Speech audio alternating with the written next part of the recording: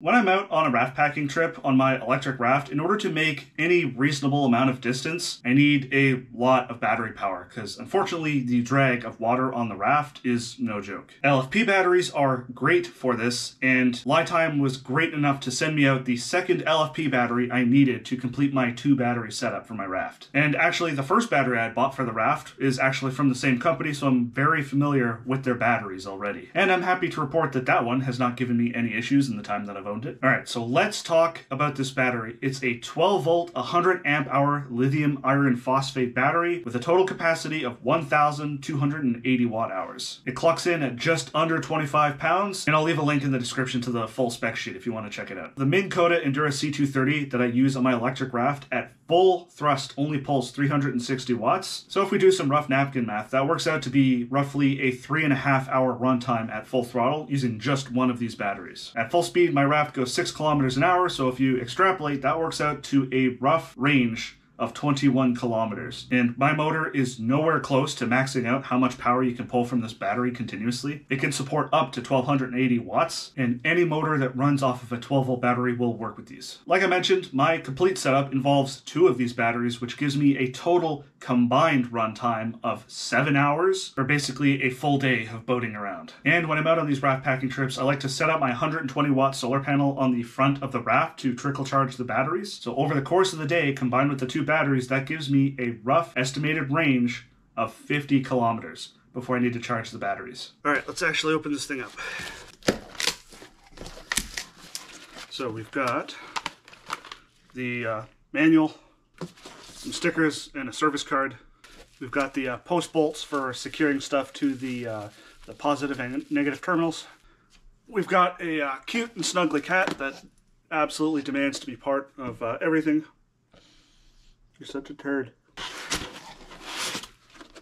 And, of course, we have got the battery itself. Here we have it. Oh, a 100 amp hour, 12 volt, 1280 watt hour lithium iron phosphate battery. And this now makes two that I have. I actually wanted to uh, come down to the boat launch and uh, take the raft for an actual uh, spin today. But I guess this boat launch is not uh, open during winter. So you can see they've got the docks pulled in right there. And even if I could bring the raft down here, the water's still a little bit uh, iced up, even though it's uh, above zero today. So, so I can't quite uh, get out on the water, but uh, I figured out that this picnic table makes a good makeshift transom mount. Now it kind of makes me want to uh, figure out a way to make a picnic table float.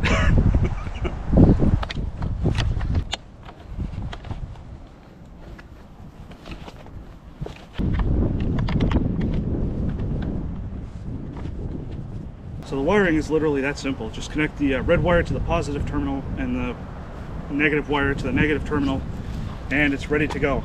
So I'm gonna make sure I stay clear of that propeller. This is nice and securely mounted in place on the picnic table. Go all the way up into five. That's cool watching the uh, shutter speed interact with the uh, RPM of the motor. It's spinning a lot faster than it looks on the camera. And because this isn't just a raw battery, this actually does have a BMS, uh, I can run this thing until the battery goes empty and not have to worry about over draining it. And when I charge it, uh, same idea, it won't overcharge because unlike a lead acid battery, it's actually fully protected by an onboard BMS, which allows for, I believe, a max 4 series 4 parallel configuration. So you can wire up to 16 of these things together for like a 48 volt 400 amp hour configuration. That's actually pretty wild.